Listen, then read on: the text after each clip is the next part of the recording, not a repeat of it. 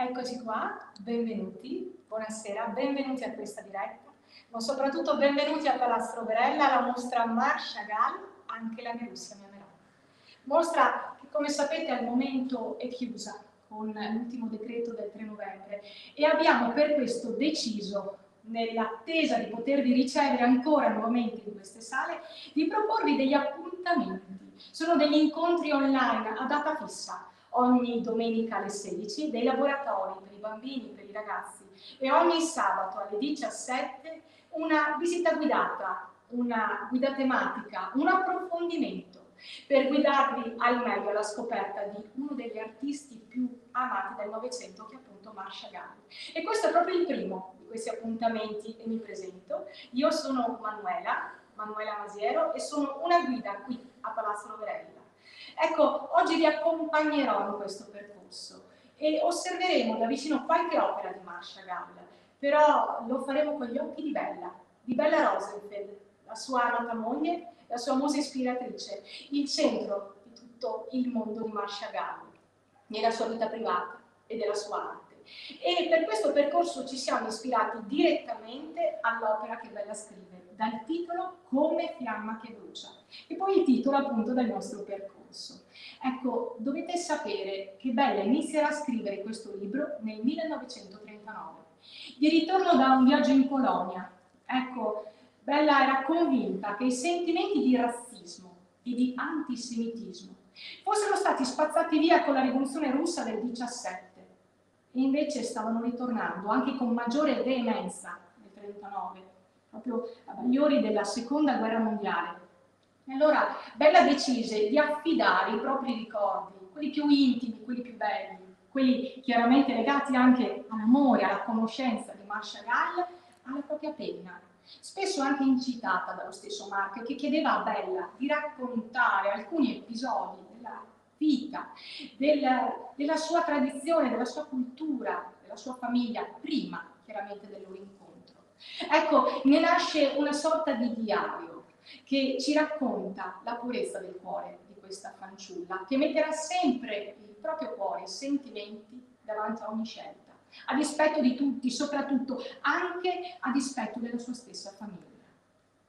Bene, e oggi avremo appunto modo di vedere questo, di vedere questo percorso e l'amore che lega Mark con Bella, perché questo libro sarà proprio stato pubblicato poi nel 1947 dallo stesso Mark, che in qualche modo vuole seguire il percorso di questa donna e lo arricchirà di 68 disegni. E non solo, anche di una postfazione dove si potrà leggere tutto l'amore che prova per Bella e anche il rammarico, la paura di averne in qualche modo oscurato la carriera di questa grande scrittrice con la sua fama di pittore ma di tutto questo proprio Bella non si curava, amava follemente Mark. Ecco, Bella e Mark, entrambi di Vitebsk, è la Russia antisemita, razzista dell'epoca oggi, Bielorussia chiaramente. Allora, Mark nasce a Liosno, è un piccolo comune presso Vitebsk e nasce il 7 luglio del 1887. Nasce in una famiglia di umili origini. Il padre è un mercante di aringhe, e ehm, Mark è il maggiore di nove figli e vivono tutti insieme, stipati anche col nonno paterno, in case costruite con i tronchi di legno, le classiche izbe, la classica casa russa tipica del villaggio russo, dello Stette. La famiglia di Mark è ebraica, chassidica ed è osservante e questo vuol dire che quando Mark, già da piccolo, inizierà a manifestare una propensione artistica, entrerà in dissidio con la famiglia, perché per la Torah era severamente vietata la rappresentazione proprio delle immagini e sarà la madre ad aiutare Mark a realizzare il proprio sogno. Prima accetterà di scrivere questo ragazzo alla bottega di Vitebsk, l'unico chiaramente pittore che c'era, il maestro Penne. E poi Mark potrà andare a San Pietroburgo tentando di entrare all'Accademia delle Arti e Mestieri e approdando infine alla scuola di Leon Bakst, il grande scenografo dei balletti russi di Diaghilev, dove Mark incontrerà il teatro e si innamorerà.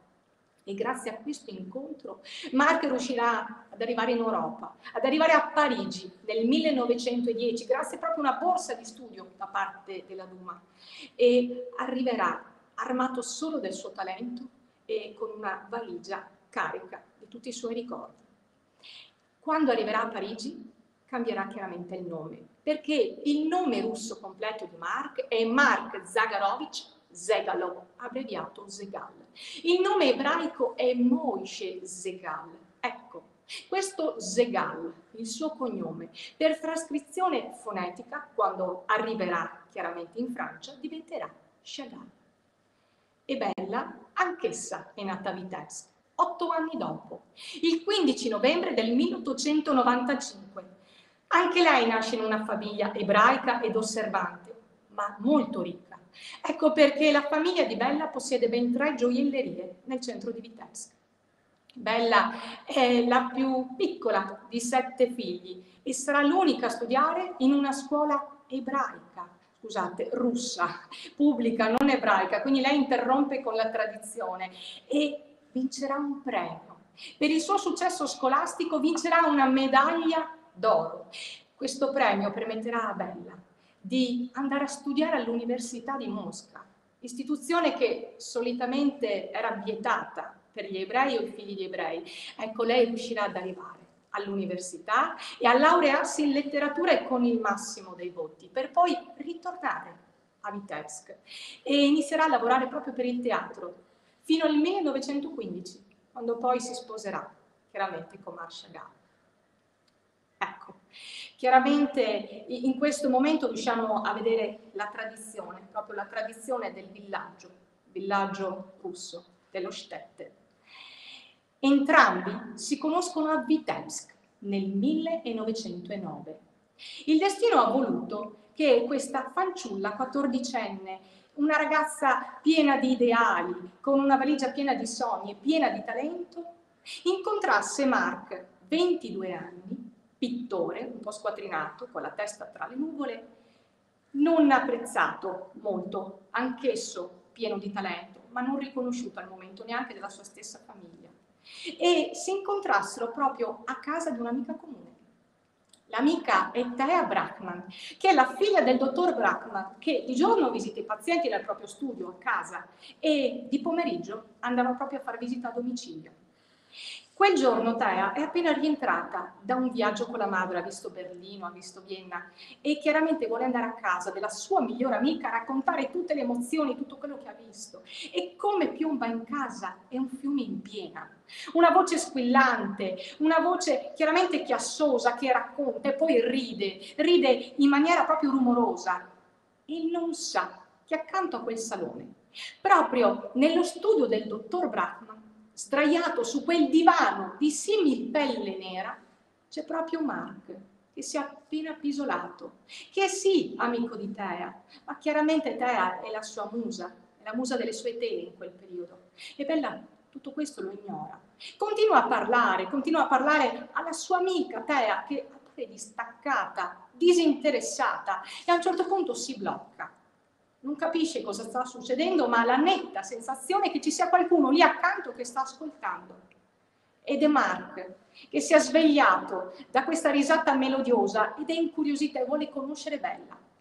Ecco, Bella è ferma, è bloccata e vede arrivare davanti ai suoi occhi questo ragazzo, col volto pallido come la parete che ha alle spalle che sta agitando in aria le braccia come ad essersi appena svegliato da un sogno e lo fa in maniera veramente goffa, quasi a volersi librare in volo. Non solo, sbadiglia. Sbadiglia mostrando quei denti bianchi, appuntiti, aguzzi, che Bella aveva visto solamente sfogliando i bestiari. E poi è tutto spettinato, ha i capelli ricci appiccicati alla fronte che coprono le sopracciglia, gli occhi.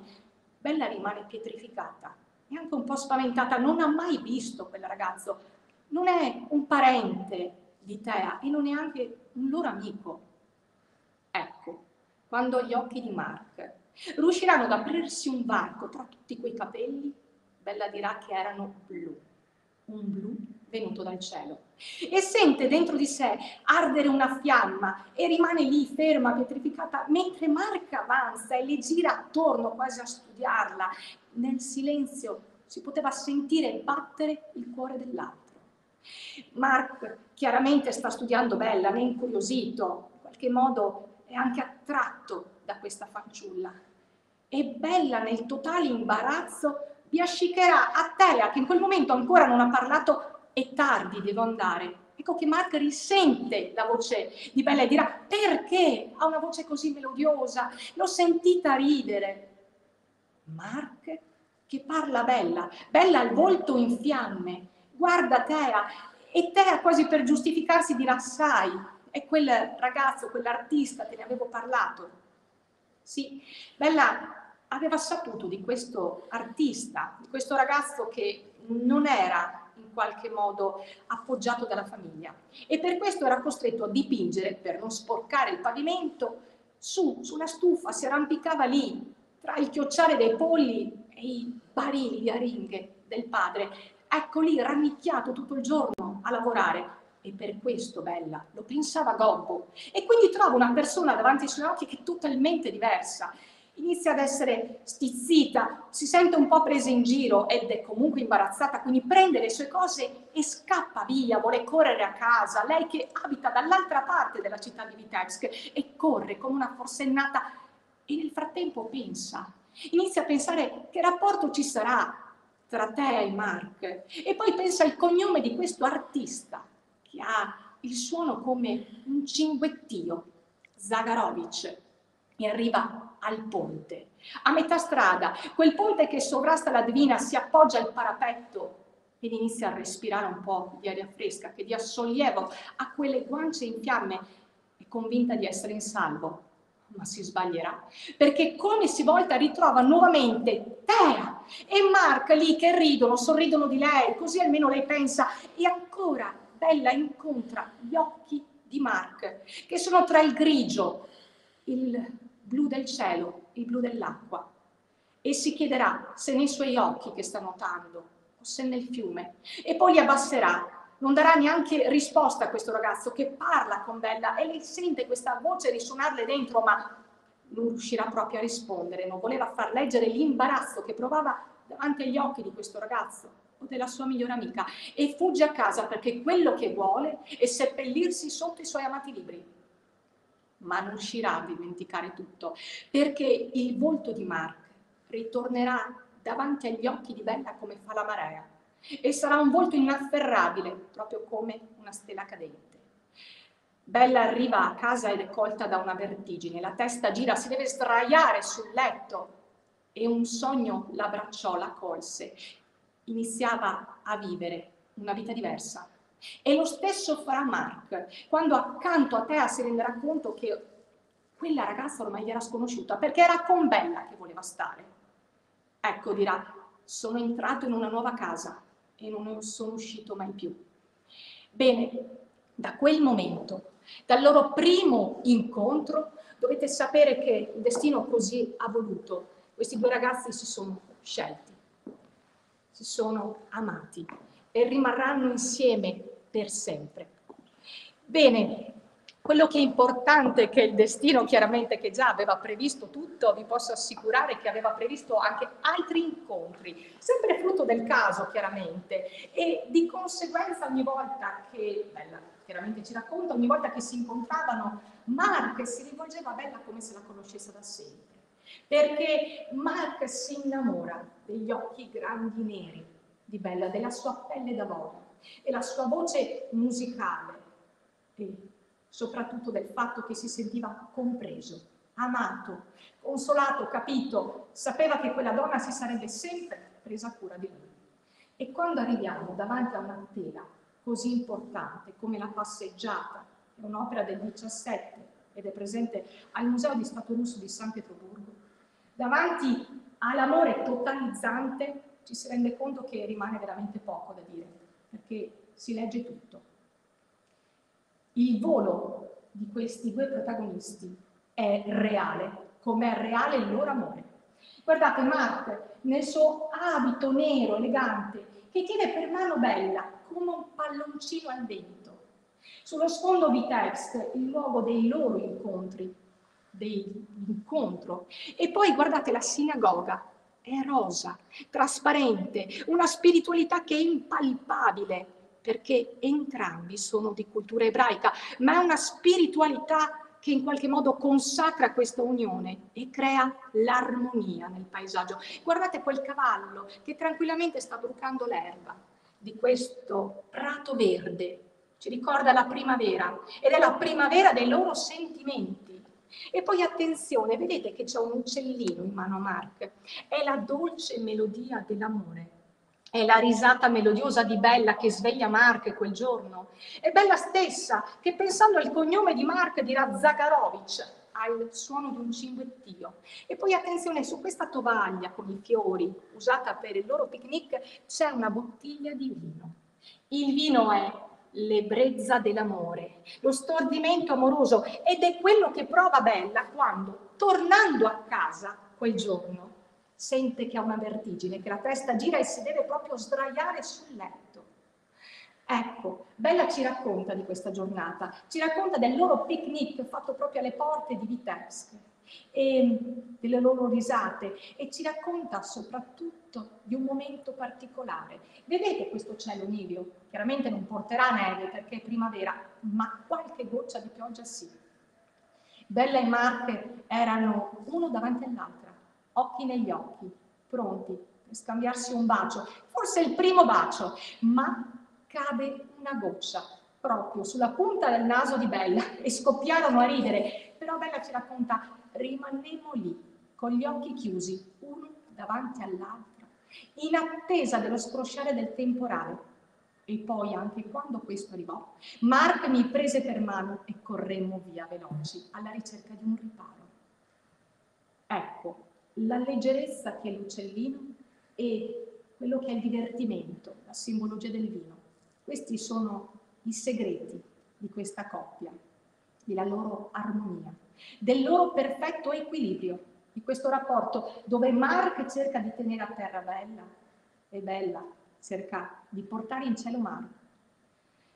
L'amore vero ti fa volare, ma è un volo che deve avvenire in perfetto equilibrio, come state vedendo mano nella mano, accarezzati dalle nuvole e soprattutto immuni allo scorrere del tempo. Mark e Bella avevano poco in comune. Erano ebrei, nati a Vitebsk, ed entrambi avevano vissuto quelle violenze, quelle discriminazioni razziali dovute proprio di quella Russia razzista, antisemita, per volontà dello zar, con i cosiddetti pogrom, attacchi di quei villaggi mettevano a ferro e fuoco per la volontà di allontanare proprio nei propri confini nazionali gli ebrei, i popoli nomadi. Ecco, quella violenza sarà il presagio di una violenza ancora più accanita, con l'avvento del nazismo. Mark e Bella saranno sempre alla ricerca di un loro equilibrio, appunto, in un periodo storico che non lo permetteva. E rimarranno uniti grazie al loro amore alla loro tradizione, la cultura ebraica e alla loro ferrea volontà. Di rimanere insieme anche in quei quattro anni, dove Marco appunto andrà a Parigi a sperimentare la sua pittura. In quei quattro anni di lontananza, Bella dirà, rimaneva che un fascio di lettere, quelli che si erano chiaramente scritti. E Mark vorrà tornare nel 14 a Vitebsk, con la guerra imminente, per rivedere Bella, proprio per lei, e decideranno di sposarsi. Si sposano il 25 luglio del 1915. Dieci mesi dopo nascerà proprio Ida, la loro unica figlia. E Bella ci racconta, veramente, anche con molta tristezza, di tutte quelle volte che la madre cercherà di dissuaderla, dicendole, Bella non ti sposare, morirai di fame, figlia mia, è un pittore, che dirà la gente, non saprà mai procurarsi il pane Bella sapeva come erano diverse queste famiglie, come vi ho detto Marco è una famiglia di umili origini e Bella, figlia chiaramente di proprietari, di negozi, di oreficeria. Le tavole di queste due famiglie erano molto diverse. Bella era abituata a dei veri e propri banchetti. Il padre di Bella si abbuffava d'uva come il padre di Marco di cipolle E proprio per questo Bella non ascoltava nessuno e quando poteva entrava in cucina, prelevava del pane, del dolce, del pesce, del latte bollito, delle tele che servivano a Marco e gliele portava. Perché una donna sa nutrire non solo col cibo, con tutto l'amore di cui dispone. E arrivò il giorno delle nozze. Chiaramente non ascoltarono nessuno, neanche il padre di Mark, perché anche lui, proprio il giorno delle nozze, si chiederà perché imparentarsi con gente di ceto così alto. E infatti per questo motivo Mark arriverà molto in ritardo a quel matrimonio. Solitamente lo sposo che attende la sposa, ecco, lì successe proprio il contrario. Bella attendeva Mark, erano già tutti lì riuniti, il rabbino officinante, tutti i parenti, e Mark arriva. E Bella lo vede impallidire, anche quasi schiacciarsi sotto il peso di quelle maldicenze, della gente che si chiedeva chi fosse, da dove venisse e se fosse realmente degno, un buon partito per Bella Rosenfeld. E Bella disse, in un attimo si fece silenzio, perché un piccolo cielo rosso si era aperto sopra le nostre teste, il rito ebraico dell'uppa, il baldacchino rosso. Si sposarono chiaramente secondo il rito ebraico, sorseggiando quel vino dal calice che poi lo sposo rompe sotto i piedi.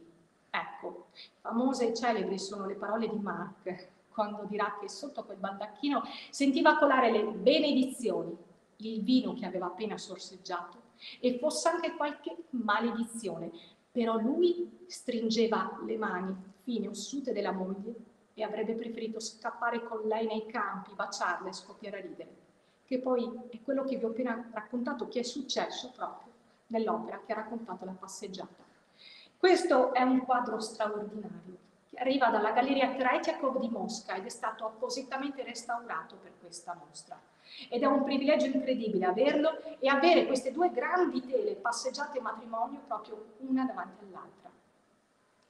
Chiaramente racconta del, del, matrimonio, ma è stato celebrato tre anni prima, perché questa è un'opera del 18. Quindi è il sussulto dell'amore di Marche Bella fino a quel momento.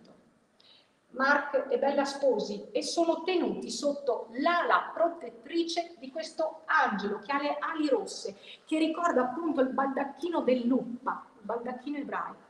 E poi guardate, sulla guancia di Bella c'è un infante, una bambina, ed è proprio Ida, la loro figlia, che però all'epoca ha due anni. E poi fate attenzione, su quell'albero c'è un violinista.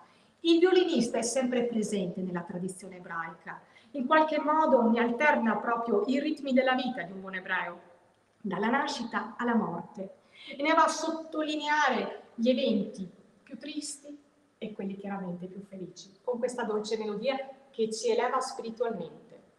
Pensiamo che quel violinista sia proprio il nonno di Marc perché era un discreto violinista, però amava anche salire sugli alberi, sulle siepi, arrampicarsi sui tetti e deliziare il vicinato con la sua dolce melodia e Mark amava seguirlo perché ad entrambi piaceva guardare il mondo dall'alto.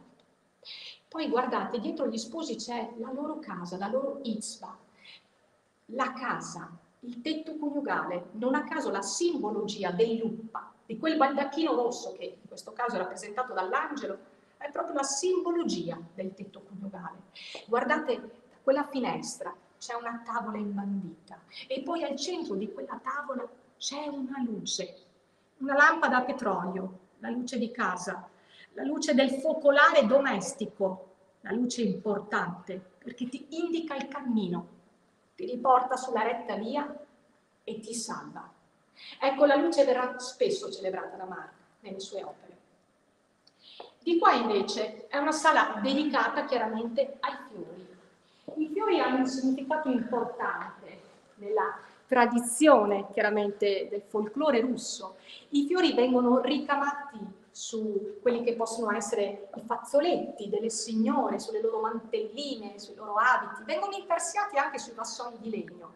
Il fiore è importante. Ecco, il mazzo di fiori per Mark era la simbologia della vita stessa è anche il simbolo dell'amore, del legame che ha con Bella. Infatti c'è sempre un mazzo di fiori nelle sue opere. È in qualche modo una tematica che ritroviamo spesso, il loro motiv I fiori vengono raccontati spesso anche dalla stessa Bella e ora io vi vado proprio a leggere un passo del libro che lei ha scritto, dove sì si parla di un mazzo di fiori, ma lì potrete anche comprendere uno spaccato della vita di Marco e Bella, della loro intimità e della loro gioia.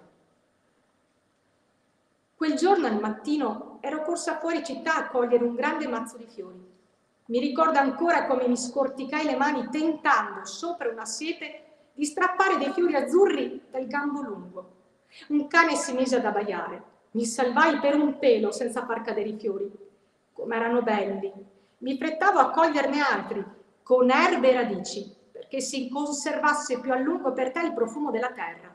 E una volta a casa radunai tutti i miei scialli colorati, i miei scampoli di seta, mi impadronii in cucina di una pagnotta a pezzi di pesce fritto e con indosso il vestito della festa e carica come una mula mi incamminai verso casa tua. Quell'estate avevi una stanza per te, un po' in disparte dalla casa dei tuoi genitori, una camera in affitto presso una guardia.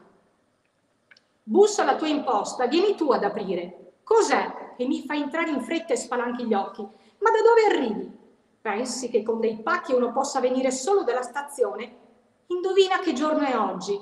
Fammi una domanda più facile, dirà Mark, perché non so mai che giorno è. Oggi è il tuo compleanno. Sei rimasta a bocca aperta. Ma come lo sai? Come tutte le donne, mi verrebbe da dire, attenti agli anniversari, ai compleanni, Mark davvero faceva fatica a ricordare il suo compleanno, anche quanti anni avesse, perché dovete sapere che di punto in bianco il padre di Mark decise di invecchiarlo di due anni per evitare al fratello Victor il servizio militare. E Bella continua. Io dispo rapidamente i scialli multicolori, ne stendo uno sul tavolo. E tu? Frughi fra le tue tele, ne tiri fuori una, sistemi il cavalletto e non muoverti, resta dove sei. Ho ancora i fiori in mano, non riesco a stare ferma, vorrei metterli in acqua, passiranno, ma subito li dimentico.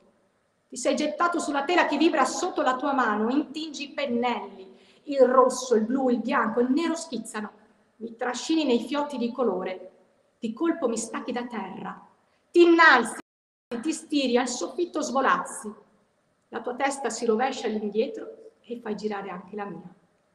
E queste acrobazie che lui dipinge nelle sue tele sono le acrobazie che avrebbe fatto per conquistare il cuore della sua amata. E terminata l'opera dirà, il mio quadro ti piace? perché Mark non finiva mai, quadro incisione, senza chiedere il giudizio di Bella. Tanto si fidava di questa donna. E dirà Bella, lo chiameremo compleanno.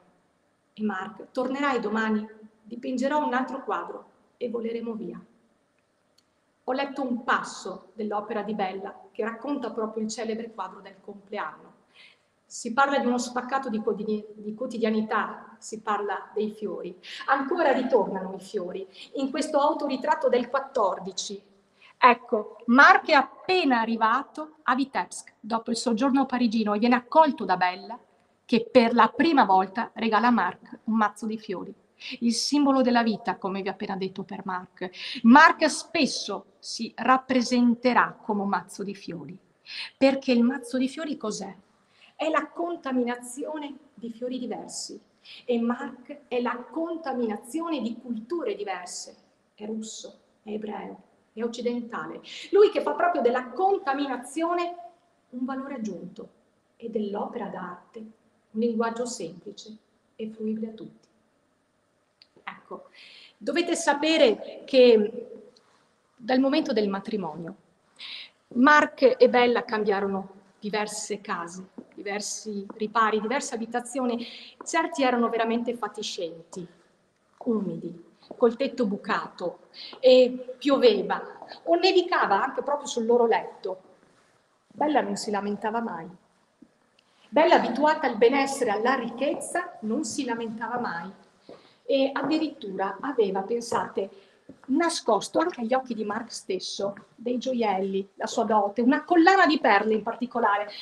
Lei era molto affezionata a quella collana di perle e la teneva lì per i momenti più difficili.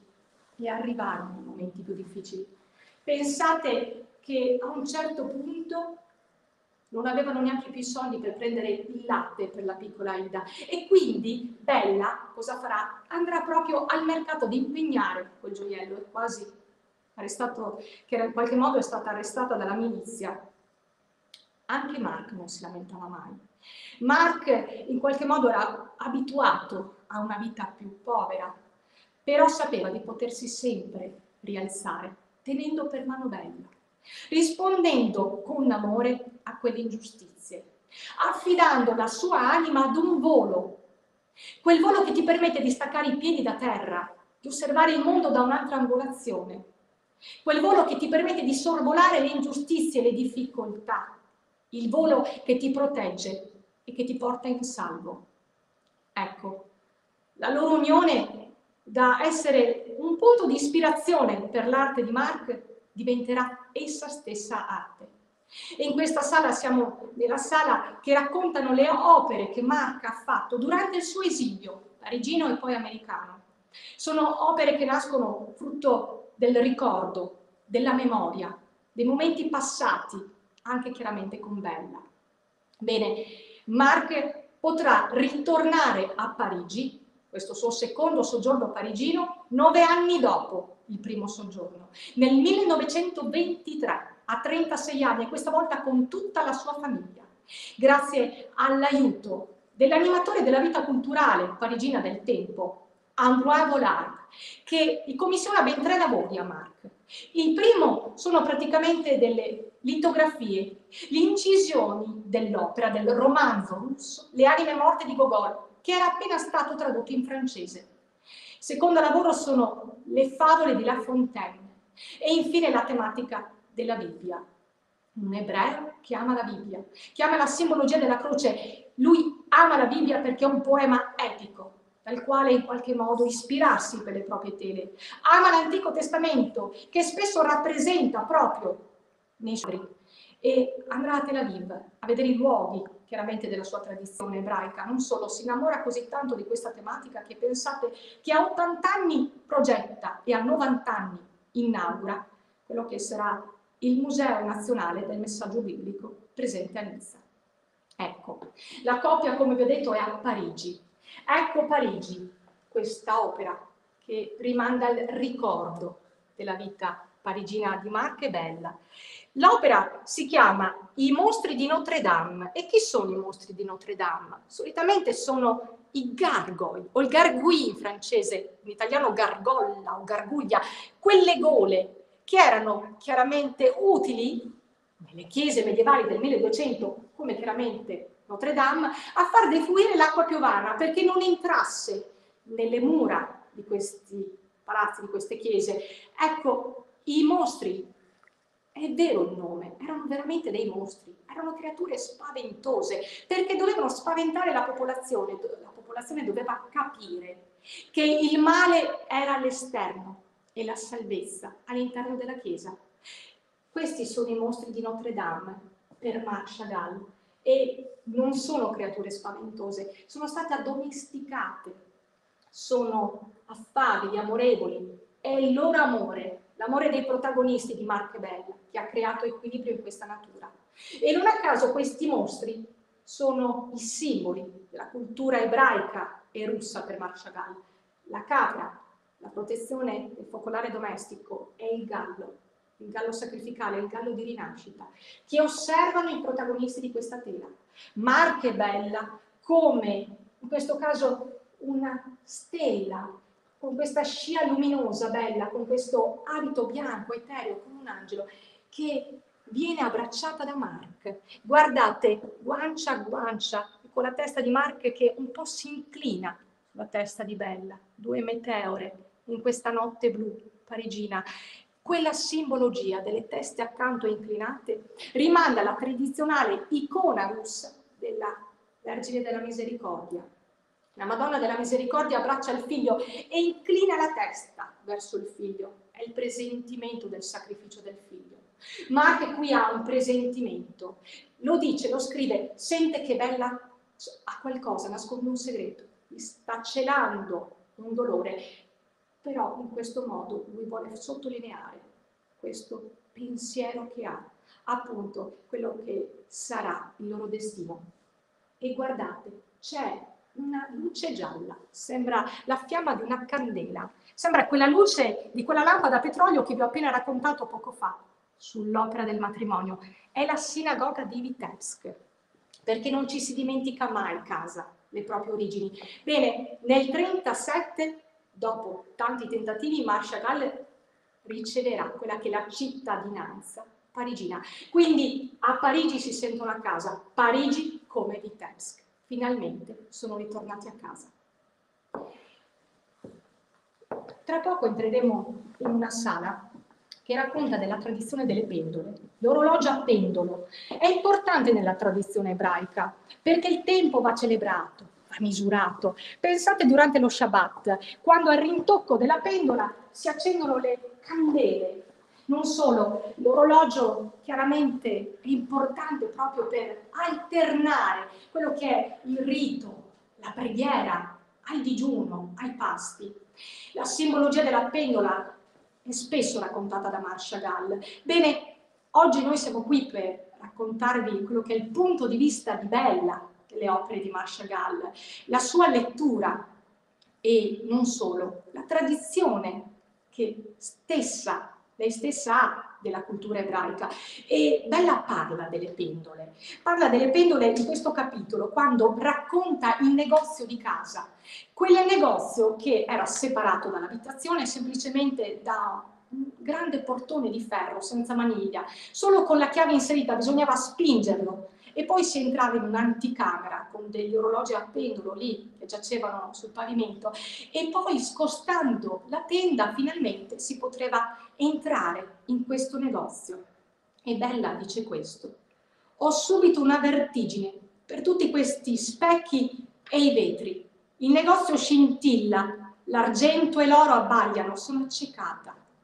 Sulle mensole, bicchieri, coppette, zuccheriere, brocche, tutto riluce, tutto brilla, sembra appena lucidato. Al centro del negozio tre lunghi banconi e al loro interno pietre di ogni sfumatura incastonate in anelli d'oro, orecchini, spille, braccialetti che sfavillano come fiammiferi accesi. Tutto brilla a differenza della terza parete, quella è buia persino di giorno e sembra una foresta tenebrosa. Appese a questa parete le pendole di ogni dimensione. Alcune grandi, grosse, massicce, con grosse catene che sorreggono poderosi pesi di rame, altre più slanciate, con le catene più sottili e con pesi più leggeri, ma da tutte le casse spuntano i bilancieri come delle spade. Le pendole più grosse ronzano come vecchi brontoloni e quelle più piccole hanno il suono acuto come il pianto di un bambino. Gli orologi si muovono, dondolano, camminano di giorno e notte, senza mai riposo. E poi Bella ritorna in quel negozio, il negozio di casa sua di notte, e dirà, gli orologi pendono dai loro chiodi neri come delle persone crocifisse in eterno. I quadranti bianchi con i piccoli numeri neri che ammiccano, con i loro occhi sbiaditi, come dei defunti. Li ascolto da lontano e con il cuore in gola li abbandono. Bella parla della sua quotidianità, di come avesse paura appunto delle pendole. Bella quando scrive, scrive come accoglieva gli amici, come parlava e le sue frasi, le sue parole diventano proprio una patina di colore nei quadri di Mark, che si è sempre ispirato a questo amore, chiaramente per rappresentarlo. E Bella parla proprio di questo, della quotidianità degli orologi, dei mazzi di fiori, dei riti. È una ragazza dal cuore puro, e si può capire proprio da queste pagine.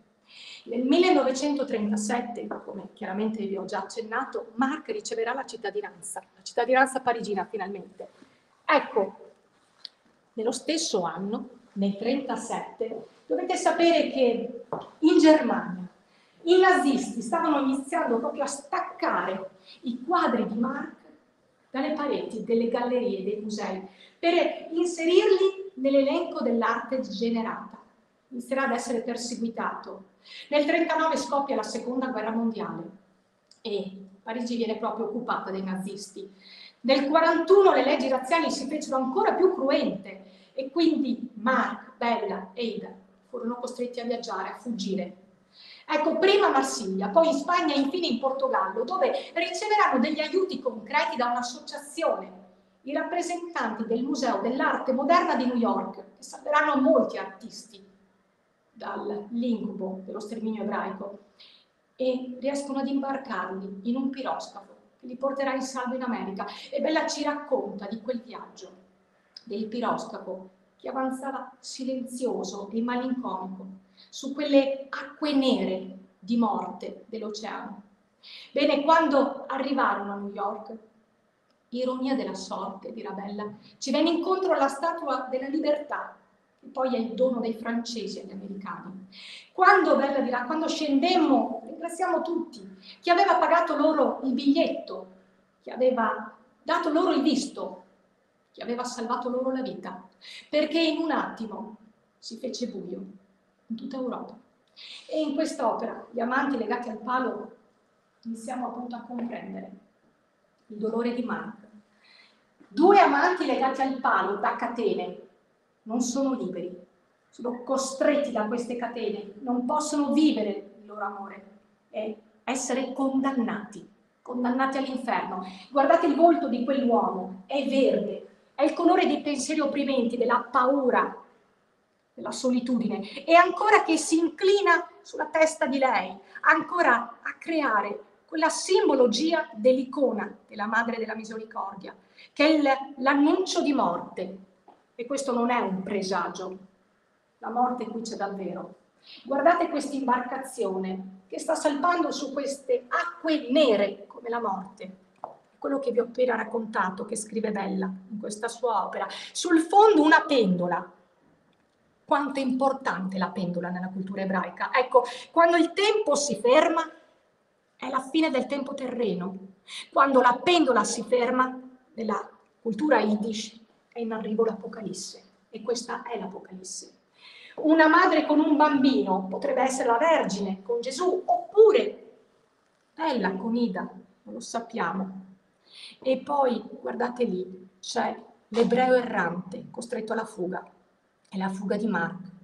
E poi guardate questo grande gallo, simbolo di rinascita, di sacrificio, bianco come la redenzione, bianco come la luce che ti porta a casa, che tiene nella pancia a casa, perché tiene Vitebsk, la casa di Mark, la sinagoga blu, rovesciati, perché questo è l'orrore che ha proposto la guerra, che è un incubo, e la sinagoga è blu, che è il colore delle speranze, delle sacre scritture, delle promesse di Dio. E poi la slitta, la slitta che vola, la slitta che è il simbolo delle fiabe russe.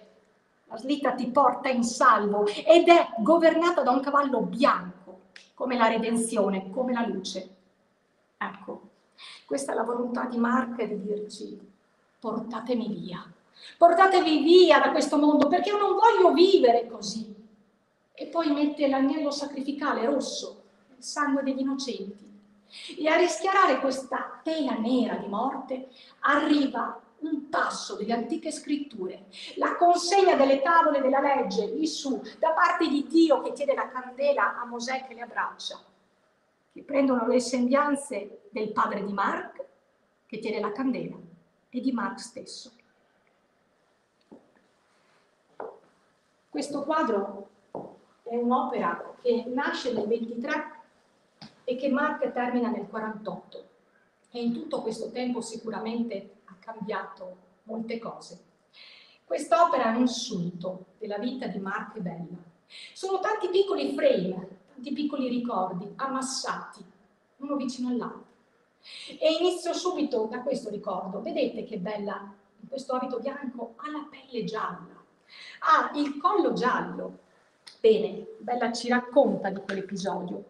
Dovete sapere che una sera Bella con suo fratello Mendel andarono in città a bere in un bar un bicchiere d'acqua col seltzer. Uscendo, per caso chiaramente, incontrarono Mark, che come già vi ho accennato trattava Bella come se la conoscesse da sempre e questo metteva Bella molto in imbarazzo. E come se non bastò, proprio quella sera, Mark si avvicinerà, come era solito fare con Bella, quasi a volerla studiare, e dirà, un collo giallo, la sua pelle gialla, Sobbalzo, uno schiocco di frusta. Ho l'impressione che il vento mi abbia strappato via i vestiti. Sono nuda, in mezzo alla strada, tutti vedono il mio collo, la mia pelle. Mio fratello può pensare di tutto, una ragazza perduta. Parlare della mia pelle, del mio collo e in presenza di mio fratello. Non può che essere ubriaco pazzo costui.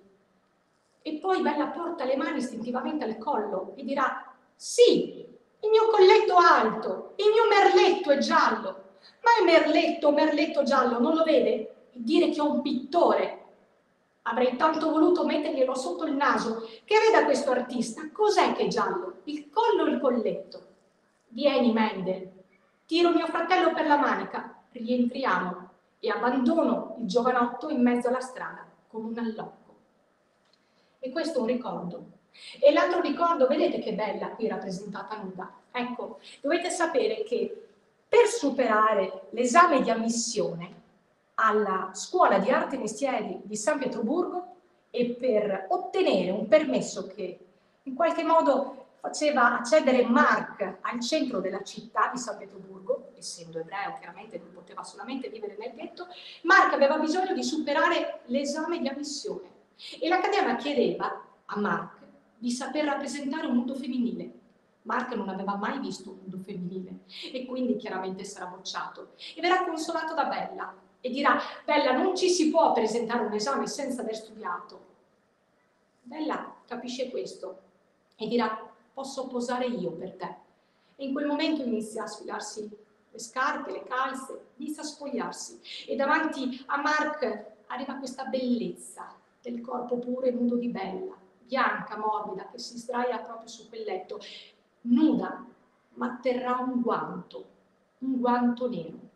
E Mark ci racconta che aveva il terrore di avvicinarsi, perché benché fosse la sua fidanzata, Mark non l'aveva mai vista nuda ma soprattutto aveva paura anche solo di sfiorare tutto quel ben di Dio che aveva davanti agli occhi.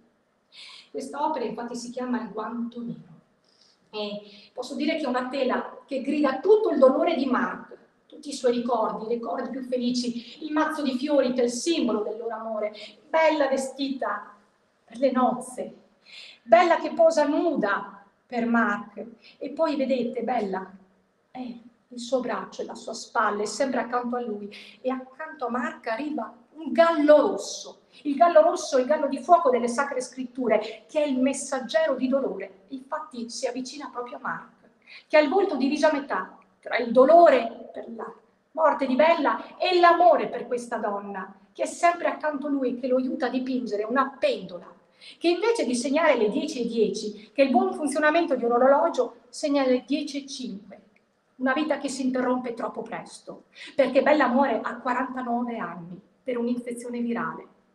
E aggiunge anche per questo, oltre che per il ricordo del dipinto di Bella, un guanto nero, simbolo del lutto, che sfoglia le pagine di un libro che a un certo punto non ha più parole, una lettura che si interrompe troppo presto.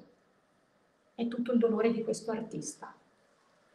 L'abito bianco di Bella ricorda anche la sottoveste che indossava una sera, quando di notte si svegliò a sistemare i suoi libri, i suoi quaderni. E Mark, vedendola, dirà, perché tutto quell'ordine all'improvviso? E Bella, sorridendo, un po' teneramente, dirà, saprai allora dove stanno le cose. Bella morì pochi giorni dopo. Le sue ultime parole sono state i miei quaderni. Eccoli, i suoi quaderni. Ancora questa simbologia che ritorna. I miei quaderni sono stati pubblicati in questo libro, nel libro di Bella. È stata la sua volontà di farci arrivare qualcosa che lei amava, appunto, qualcosa che lei ha vissuto, i suoi ricordi. E Mark nella postfazione scriverà queste parole. Gli uomini frettolosi di oggi sapranno penetrare nella sua opera, nel suo universo. Più tardi altri verranno e sentiranno forse il profumo dei fiori della sua arte ed è quello che stiamo facendo oggi, stiamo sentendo i profumi dell'arte di Bella. Quando Bella morì, Mark entrò in un tunnel di depressione profondo. Né la morte della madre né quella del padre lo avevano sconvolto così tanto. Pensate che il suo mondo si sgretolò in un attimo. L'unico luogo dove sentirsi a casa era accanto a Bella, e ora lei non c'era più. Quel ricordo era svanito. Come svanirà la sua pittura? Perché per un anno non, to non toccherà pennello, dicendo di aver perso tutti i colori della sua vita e non scriverà nemmeno una lettera. A che serve scrivere ora? Non c'è più nessuno che potrà leggere le mie parole. E anche quando si riprese, anche quando si risposò e si innamorò nuovamente, ecco dovete sapere che un velo di malinconia era sempre presente in Mark e in tutte le sue opere. Rappresenterà sempre Bella fino alla fine dei suoi giorni e la rappresenta come un angelo pronto a consolarlo, come in questa notte verde, dipinto otto anni dopo la morte di Bella. Bella è questa bellezza eterea, angelica, che sostiene Mark ed è la prima cosa che lui disse quando la vide. Sentivo che quella donna si sarebbe sempre presa cura di me. Guardate il volto di Mark, tra il rosso e il blu. Il rosso del sangue, del corpo, il blu delle sacre scritture, della spiritualità, delle promesse di Dio. Corpo e anima unite, perché per un ebreo la verità deve essere completa. E stanno osservando questa notte nera, questo spicchio di luna. E guardate, un animale verde, la simbologia della protezione del focolare domestico che si fa verde di paura, di pensieri opprimenti, di solitudine. Mark e Bella osservano Vitebsk, il luogo dei loro incontri, delle loro origini. E guardate, osservano questo, che è l'ebreo errante, costretto alla fuga perenne per espiare le proprie colpe. E vedete che si sta innalzando. Questo è Mark, che si è sempre innalzato, che ha sempre sorvolato le ingiustizie, le guerre. Si è innalzato anche sopra il dolore della morte, rispondendo sempre con l'amore e con la propria arte. Bene, quando Bella morì, Mark scriverà queste parole. Poi ad un tratto un rombo di tuono, le nuvole si aprirono. Alle sei di sera di quel 2 settembre del 1944, quando Bella morì, quando Bella lasciò questo mondo, tutto, tutto è divenuto tenebra. E questo è l'amore di Mark e Bella, che ci ha raccontato che l'arte è figlia della passione, perché loro hanno avuto passione, coraggio, e nella vita serve avere passione. Perché la passione è quella tavolozza che colora del colore dell'amore le nostre vite. Il mio percorso si conclude qua, signori. Spero vi sia piaciuto, che sia stato di vostro gradimento. E vi ricordo ancora gli appuntamenti. Domani alle 16, sempre in diretta sui nostri canali social, ci sarà un laboratorio per i bambini, per i, per i ragazzi, il teatro dei sogni e poi continuate a seguirci perché chiaramente sono previsti altri appuntamenti alla domenica per i bambini e al sabato appunto delle guide tematiche di approfondimento. Nell'attesa di potervi ancora accogliere qui in queste sale, io vi auguro una buona serata e vi ringrazio per l'attenzione. Grazie.